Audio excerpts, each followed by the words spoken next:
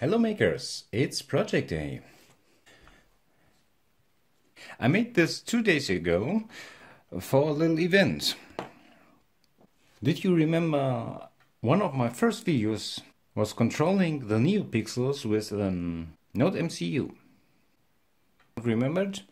Um, well, a magic info box should appear here right now. You can watch that video. But before that, let's stay here. What I wanted to make is a small sunrise simulator. So I used one of those cheap electrician box, made a custom PCB, which does nothing but housing the Node MCU and attaching the pins and connecting a stripe of 1, 2, 3, 4, 5 NeoPixels and a battery.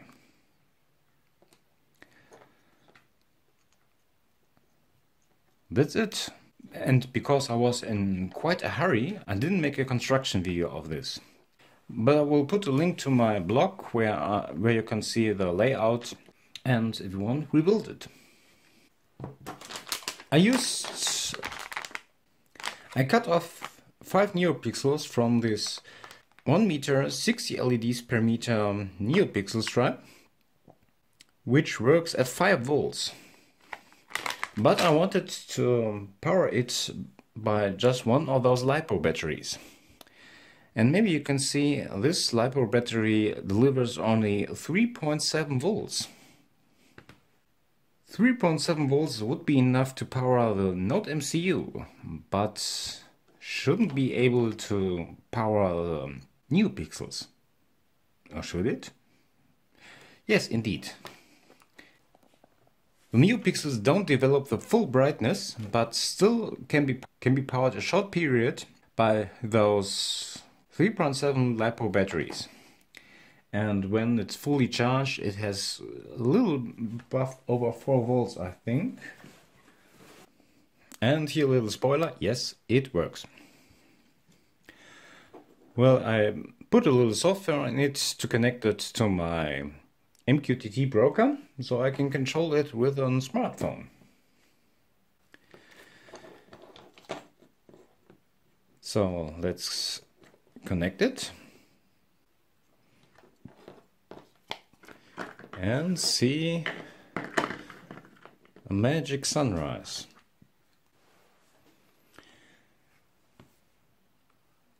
For now, I only program a sunrise algorithm. And um, and the timer, how long the whole sunrise will process. Well, let's say one minute. Well, I will explain how this algorithm works. Well, you can see the, the sunrise. I explain how this algorithm will work. I divided the time you can set there in three parts. It's now set to one minute. That should be enough to explain this algorithm. And in the first third, I rise the value of the red color to it reaches its maximum at the end of the first third. And there it stays to the end after one minute. When the second third begins, I rise the blue color to its maximum. And there it stays, also stays there. Same with the last part. I rise the value of the green color until all colors are to maximum. And the LED will will be white. And when the timer is over, in just a moment, it will reset and everything's and everything is off again. Well, that's it. And because it's powered by battery, I can place it anywhere in range of the Wi-Fi network. Well, this drew some attention at the event, and and I think I will add two two additional modes. Uh, not only a sunrise, but also a sunset, so that you have the white color and starts to dim till it's red, and the sun goes down and it's off. And maybe a third mode, where the sun goes up, st stays a little, and goes down again. That shouldn't be so complicated.